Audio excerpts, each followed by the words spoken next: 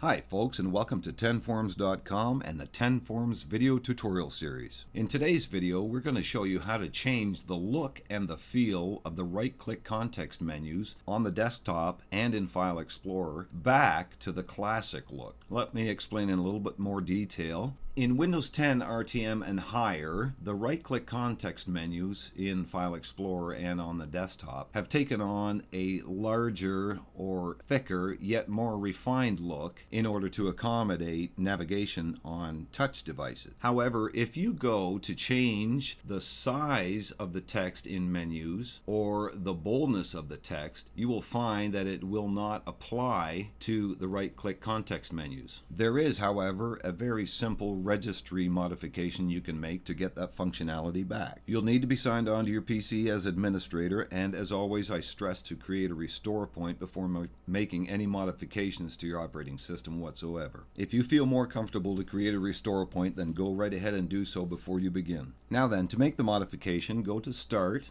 and type regedit and press enter now in the Windows registry, we are going to navigate to HKey local machine, software, Microsoft, and scroll all the way down to Windows, current version, and then you're going to scroll down till you find a key called Flighted Features. Now highlight that key. Now move over to the right hand side pane and right click an empty spot in the right hand side pane. Hover on New and click on DWORD 32-bit value and we are going to name that value Immersive Context Menu. Enter the name exactly as you see it here. Then press enter twice.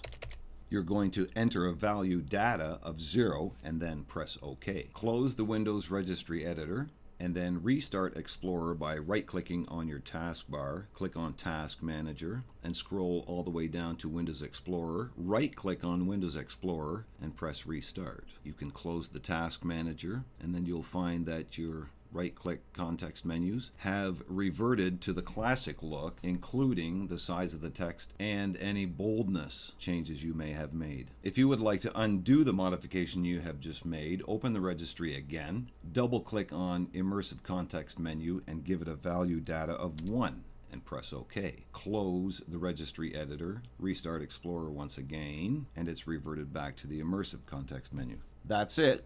If you need more information on Windows 10, head on over to 10forums.com where you'll find a host of information, news, tips, and tutorials on just about anything and everything to do with Windows 10. Thanks for watching, and we'll see you again next time.